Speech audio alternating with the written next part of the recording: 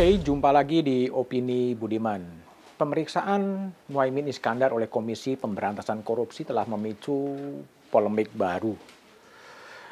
Muhaimin, Ketua Umum Partai Kebangkitan Bangsa, dipanggil KPK beberapa hari setelah mendeklarasikan sebagai bakal calon wakil presiden bersama Anies Baswedan.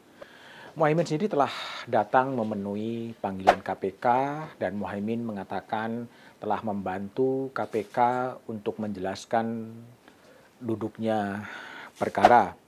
Namun kontroversi dan polemik itu tetap terjadi. Sebelumnya Muhaimin memang dekat dengan Prabowo Subianto, tetapi belakangan secara mendadak mengalihkan dukungan dan kemudian berpasangan dengan Anies Baswedan yang didukung oleh Nasdem dan PKB. Perubahan itu memang cukup mengejutkan dan pemeriksaan oleh KPK itu menimbulkan banyak spekulasi.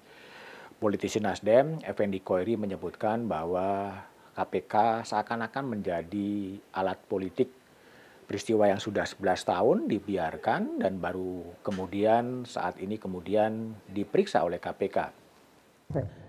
Tiba-tiba begitu Caimin dideklarasikan menjadi calon wakil presiden, tiba-tiba muncul dari KPK. Eh, Terus kita yang waras, yang sehat walafiat, masa mengikuti begitu saja pikiran dari KPK. Tentu ada pikiran yang berbeda. Ini ada apa ini? Ini betul proses hukum atau ini politik? KPK betul menjadi alat penegak hukum dalam konteks pemberantasan korupsi atau dia menjadi alat politik? Kekhawatiran dari Ovendi Koiri tentunya bisa dipahami. Sebaliknya, juru bicara KPK Ali Fikri mengatakan tidak ada masalah politik di situ. Itu semata-mata untuk menjernihkan persoalan. Hal yang sama juga disampaikan oleh Menko Polhukam Mahfud MD bahwa pemeriksaan KPK itu adalah pemeriksaan untuk meminta keterangan.